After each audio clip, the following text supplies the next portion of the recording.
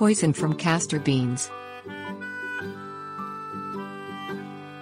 The castor bean plant proves useful in medicine, as fertilizer and as a lubricant in machinery. On the other hand, its seed the castor bean encloses one of the most deadly poisons ever discovered. Poisonous components A poison in castor beans originates from the protein ricin, an extremely potent toxin historically used as a murder weapon and in warfare.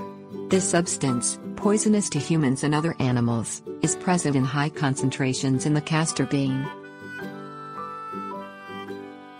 Poisoning mechanism Ricin becomes toxic when ingested, inhaled or injected. It shuts down protein formation within cells. Proteins serve vital purposes in each cell without protein, your body cannot function.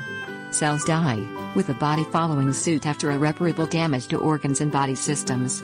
While several seeds may kill an adult, a single seed can be lethal amount for a child, according to the biology department at Union County College.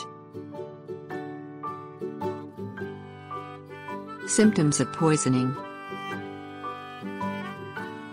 Initial symptoms may occur a few hours after poisoning and include signs of digestive upset such as diarrhea and vomiting.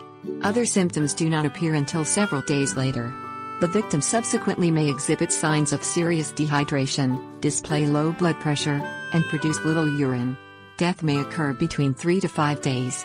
The victim most likely will recover if he or she survives beyond 5 days. Treatment Ricin poisoning has no antidote consequently, treatment merely supports the victim's recovery mechanisms. Patients receive intravenous supplies of fluids and dopamine, a chemical that constricts the blood vessels and increases blood pressure.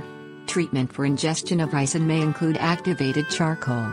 If emergency responders reach the victim within an hour following ingestion they may attempt to pump out the content of the victim's stomach.